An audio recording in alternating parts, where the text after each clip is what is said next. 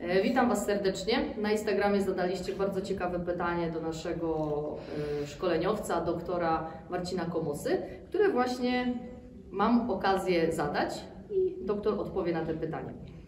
Czy istnieją wyjątki od reguły? Najpierw rozluźniamy żuchwę, a potem potylicę.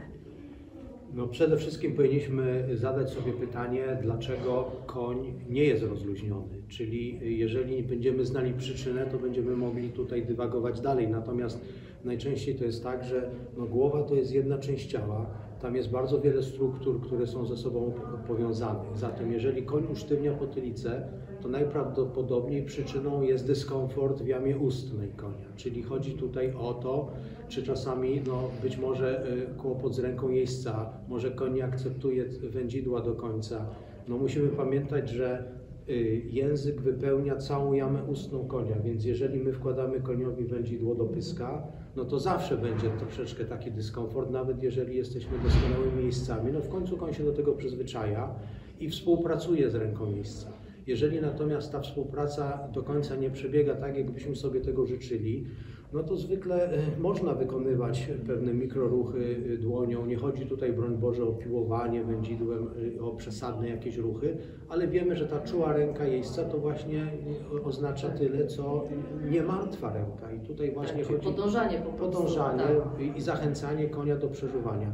I teraz my, jako jeźdźcy, mamy tutaj jakby dwie możliwości. I, I to jest właśnie jedna sprawa, to jest taka możliwość, nazwałbym ją czynna możliwość, czyli faktycznie prze, przesuwamy to wędzidło i, i działamy w związku z tym na, na żuchwę jednak, na staw skroniowo-żuchwowy, no bo on w zasadzie jest tym połączeniem żuchwy z czaszką.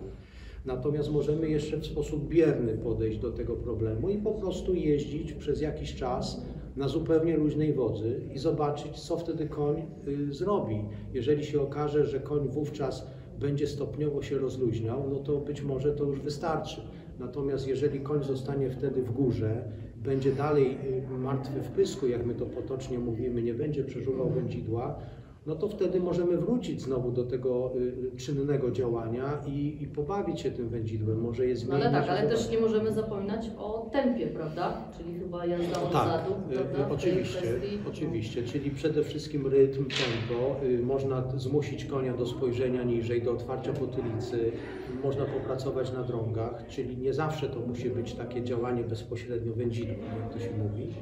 Natomiast nie zapominajmy, że usztywnienia konia, jak to my potocznie mówimy w potylicy, to jest też pewien skrót myślowy, ponieważ potylica konia jest dosyć, kość potyliczna konia jest dość skomplikowaną kością, ona nawet wchodzi częściowo na podstawę czaszki. I tutaj bardziej chodzi o staw szczytowo-potyliczny, a mięśnie, które go usztywniają, to są tak zwane mięśnie nadosiowe, czyli to są mięśnie, które dokładnie dochodzą do łuski kości potylicznej, czyli tam, gdzie jest powrózek karkowy, tam, gdzie się przyczepia powrózek karkowy. Więc my działamy w zasadzie na mięśnie nadosiowe. Trzeba rozluźnić mięśnie nadosiowe. I, y, I kiedy one są rozluźnione? One są rozluźnione wtedy, jeżeli domknięcie naszych palców na wodzy powoduje konia w tym stanie. Tak. Jeżeli czujemy tam opór, to znaczy, że te mięśnie, które są blisko uszu, mówiąc obrazowo, są zbyt mocno na- napięte. No i właśnie, i teraz najprawdopodobniej koń dlatego je napina, żeby, żeby wędzidło za mocno nie obciążało mu języka i nie trafiało w podniebienie. Tak. I wówczas je, y, pod, y, y, wędzidło leży na zębach przedrzonowych. I, czyli koń wybiera, jak to się mówi, trochę mniejsze zło. On woli mieć dyskomfort tego rodzaju niż inny i woli, żeby mu trochę ścierpły mięśnie karku, niż żeby go Tak. coś kuło, kuło w buzi, mówiąc potocznie. Dlatego właśnie tutaj musimy to na to spojrzeć kompleksowo. Każdy przypadek jest inny, ale pytanie jest bardzo ciekawe i tutaj by można było właśnie dywagować i drążyć dalej ten temat. Okej, dziękuję. E, Mam jeszcze parę pytań do doktora. I kolejne pytanie to, jeśli mógłby doktor poprawić i udoskonalić budowę konia, to co by doktor zmienił w ciele wierzchowca? Chodzi o anatomię kości. No, ten koń, który z nami tak wspaniale od wieku współpracuje i historycznie, i pamiętamy, że zawsze był tym towarzyszem i tak dalej, już bardziej y, być zmieniany w zasadzie nie może. Ewolucja już spowodowała wielomilionowa to, że myśmy go dostali już w jakimś takim typie, który i tak jako hodowcy przez lata Tak. Zmienialiśmy. No wiemy, że jest bardzo dużo ras.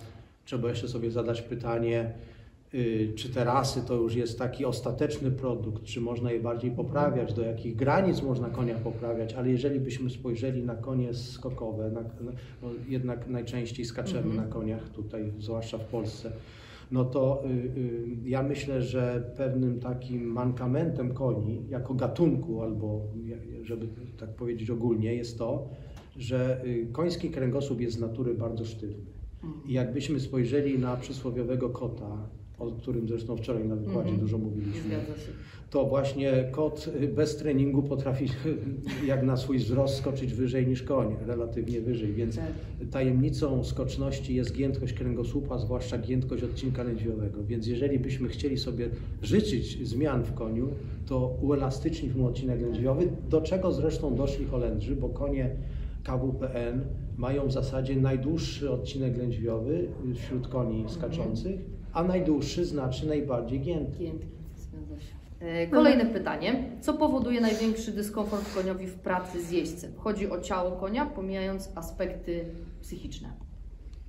Czyli ja rozumiem, że y, ze strony jeźdźca, co... co Tak, jeśli tak. jeździec tak jak właśnie pracuje, co najba- najczęściej powoduje największy dyskomfort dla konia. Mhm. Jest to no, ja myślę, że y, no niestety tu ciągle się pojawia to niezrozumienie mechaniki y, połączenia głowy z pracą kończyn przednich.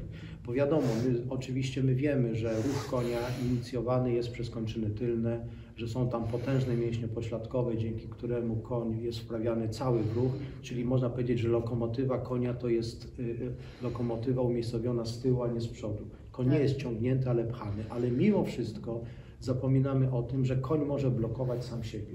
Czyli jeżeli my będziemy y, zbytnio ingerować y, na pysk konia, to kończyny przednie są tak ciekawie połączone z czaszką, co ciekawe, odpowiednimi mięśniami. Mięsień łopatkowo-poprzeczny, który jest połączony z mięśniem ramienno-głowowym. Te dwa mięśnie są u konia zintegrowane, czego u innych gatunków w zasadzie aż tak mocnej integracji tam nie ma.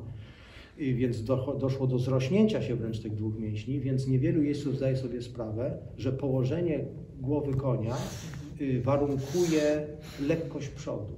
Czyli y, kończyny są ciągnięte do czaszki.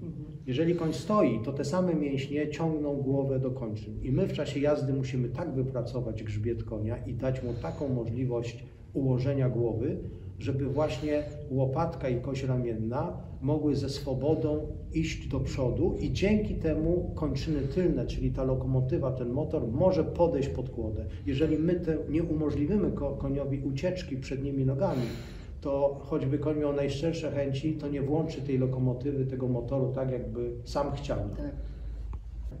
E, Kolejne pytanie. E, Jaką radę dałby doktor wszystkim jeźdźcom, którzy pracują z młodymi końmi w przedziale wiekowym od 4 do 6 lat?